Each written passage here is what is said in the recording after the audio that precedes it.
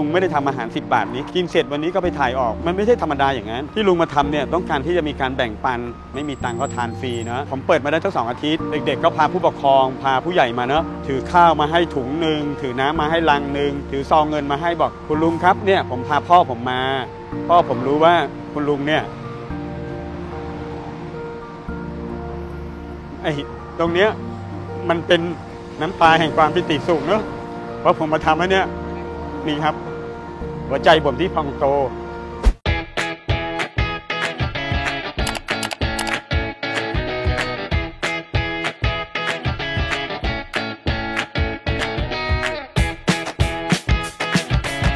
้าวไรเบอรี่หอมปทุม 5 บาท เต้าหู้จักรพรรดิเต้าหู้ทรงเครื่อง 10 บาท อันนี้วันนี้มียำหัวปลีด้วยนะครับ 10 บาท อันนี้ขนมกล้วยบวชชีเนี่ย5บาทปลาทู3ตัว 10 บาท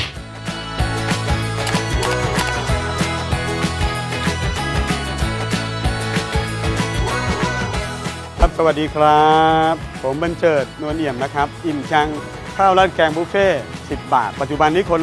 เรียกร้านนี้ว่าอิ่มจัง ตอนนี้มีคนเรียกเราด้วยพัฒคารคนจนทำอันนี้มาถ้าครบสิ้นเดือนนี้ 1 ปีกับ2 เดือนแล้วครับ ตอนนี้เรามี 6 สาขาแล้วเนาะ เดิมพวกเราเนี่ยช่วยกันเป็นจิตอาสามานานแล้ว พวกเราทำกันมาตั้งแต่ปี 2542 ก็คือช่วง บ้านเมืองเดือดร้อนเช่นน้ำท่วมภัยแล้งอะไรต่างๆ พวกเราก็จะเอาอาหารพวกนี้ไปแจก จนวันหนึ่งพ่อหลวงดาวสวรรคตวันที่ 13 ตุลาคม 2559 พวกเราก็รวมตัวกันอีกครั้งหนึ่งไปทำอาหารแจกที่สนามหลวง หลังจากจบทุกคนก็ยังมีการพูดคุยติดต่อกัน มีการนัดกินข้าวกัน มันไปเจอร้านข้าวแกงบุฟเฟ่เขาก็มีอย่างนี้ยหละแต่เขาคิดที่ 50 บาท เราก็ตกใจว่าทำไมคนไปกินบุฟเฟ่อย่างนั้นเยอะแยะเลย ก็เลยถามน้องลุงพี่ ตาครับตาทำไมมากินบุฟเฟ่ตาบอกก็พูดกันเหมือนกันทุกคนตอนนี้หลาย ๆ คนลำบาก ตอนนี้เศรษฐกิจมันแย่ลง ถ้าเขามากินเนี่ยเขาสามารถอยู่ได้วันหนึ่งเลย ก็เลยปรึกษาทีมงานจิตอาสาด้วยกันหลาย ๆ คนท้ายเราก็มาทำร้านอิ่มจัง10บาทขึ้นมาทำขึ้นมาได้สักเดือนหนึ่งได้ก็มีคนมาแวะกินกันตลอด ทีนี้ก็มีอาจารย์ มีเด็กๆ นั่งรถบัสอะไรมากินกันเยอะแยะหมดเลย เราก็คุยกับเด็กๆกับอาจารย์ว่า รู้ไหมตอนนี้เด็กๆ หลายคน หรือนักศึกษาหลายคนเนี่ยบางวันไม่ได้ทานข้าว เพราะว่าเฉพาะค่าห้องค่าเทอม ตัวเขาเองก็ลำบากอยู่แล้ว เราก็เลยตัดสินใจ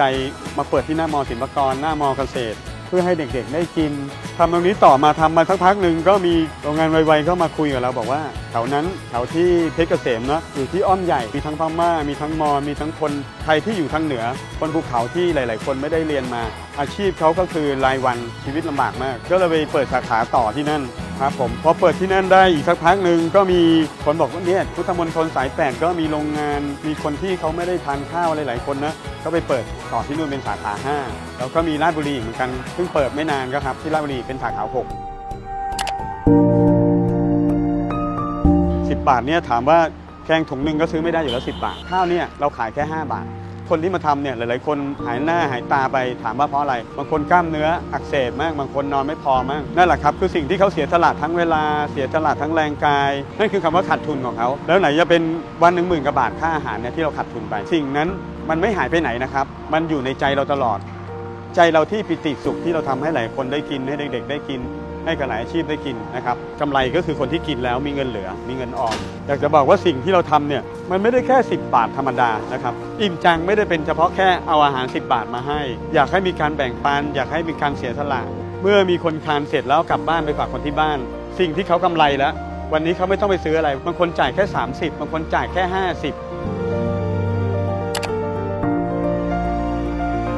ช่วงโควิดเนี่ยตื่นตีสามเลยเพราะว่าเรามาทำแจกฟรีวันละหมื่นชุด ถ้าเราขายปกติเงี้ยก็จะผมตื่นประมาณตีสี่ครับแบ่งอาหารกันเนี่ยครับตอนนี้มี 6 สาขาเขาจะแบ่งเป็นจุดหนึ่งก็อยู่ที่โรงเจหอคุณน้ำฟ้า จุดที่ 2 ก็หน้ามอศิลปากรที่เรายืนอยู่เนี่ยครับจุดที่ 3 หน้ามอเกษตรกำแพงแสน จุดที่ 4 ไวๆอ้อมใหญ่เป็นรอบบ่าย สาขาที่ 5 ก็พุทธมณฑลสาย 8 สาขาที่ 6 ก็ราชบุรี ภารกิจการแบ่งเสร็จเราก็มาตักกับข้าว มาขายอยู่จุดเนี้ยมันจะหมดประมาณเฉลี่ยอยู่ที่บ่ายสองเนาะบางวันก็อาจจะไปถึงขึ้นอยู่ว่า ถ้าคนมาซื้อเยอะกินเยอะ มันก็จะอาจจะหมดเร็วบางวันก็เที่ยงกว่าหมด ร้านอาหารอันนี้เสร็จน้องพรก็จะเอารถขับไปขนของ เพื่อจะไปสาขา 4 ต่อไวๆอ้อมใหญ่เนาะพี่ก็จะไปต่อตรงนั้นต่อจนกระทั่งถึงตอนเย็นบางวันก็6โมงบางวันก็4โมงบางวัน5โมงไม่แน่นอน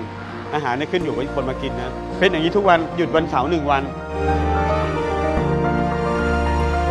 คนไหนที่มีที่พอมีเวลาก็ทำไปเลยครับ มีทุกที่ทุกตำบลนะครับ บอกได้เลยว่าทุกคนจะอารมดี ผมอยากให้ทุกคนน่ะกลับมาเหมือนสมัยโบราณเนอะมีการแบ่งปันมีการช่วยเหลือกัน แล้วอารมณ์ดี เราแกงหม้อหนึ่งนะครับ ก็เอาไปแบ่งข้างบ้าน แบ่งคนนู้น แบ่งคนนี้กันมีผลไม้ขึ้นมาก็แบ่งปันกัน การมีน้ำใจตรงนี้ช่วยเหลือกันเนี่ย ผมว่าทำให้สังคมน่าอยู่นะก็อยากจะบอกน้องๆว่าอะไรที่ทำได้ทำแต่ครับ ไม่จำเป็นน้องต้องมาทำอย่านี้ก็ได้ ขณะนี้น้องเรียนอยู่น้องก็เป็นนักเรียนที่ดีของพ่อแม่ ใช้เงินอย่างประหยัด อย่าฟุ่มเฟือยอันไหนที่ไม่จำเป็นก็อย่าไปซื้อมัน กับคนที่ทำงานแล้ว เช่น ขับรถตู้ขับมอเตอร์ไซค์ทำอยู่แบงก์หลาย ๆ อาชีพ ถ้าคุณยังมีภาระที่ต้องส่งรถ ส่งบ้าน ส่งลูกเรียน ก็มาทานอาหารนี้เถอะครับ อยากเชิญชวนให้มาทาน แต่ถ้ามีแรงทำได้ก็ทำเถอะครับ ที่เรายืนอยู่ตรงหน้ามอศิลปากรนครปฐมก็อยู่ติดกับแบงก์กรุงเทพเลยนะร้านนี้เปิดประมาณ6โมงเสร็จๆพอจะปิดก็อยู่ที่บ่ายโมงบ่ายสองแล้วแต่ว่าถ้าคนมาทานเยอะมาก ๆ ตั้งแต่เช้าแน่น ๆ เลย แต่ยังไงถ้าจะมาโทรมาก่อนนะ ที่ 083 782 4495 ครับ โทรมาเลยครับบันเจิดครับ จะบอกว่าอาหารหมดหรือยังหรือเปิดไหมโทรมาสอบถามได้เบอร์นี้นะครับ